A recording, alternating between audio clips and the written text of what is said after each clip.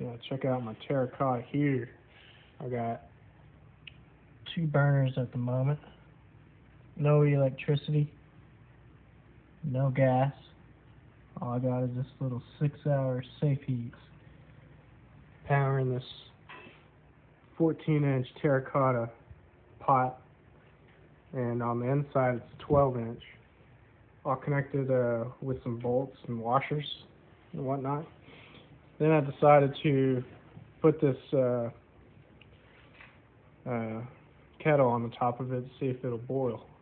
Put some water in there. I'm gonna make me some hot cocoa. Let's see what happens.